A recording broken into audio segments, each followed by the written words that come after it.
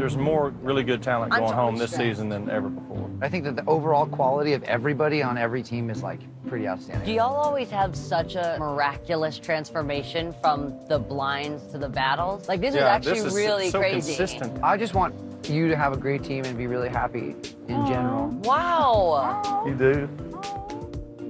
This is weird. I've never seen this. Can't quit you. What's the matter? I can't quit you. While our coaches get ready, let's meet Miley's first pairing of the night.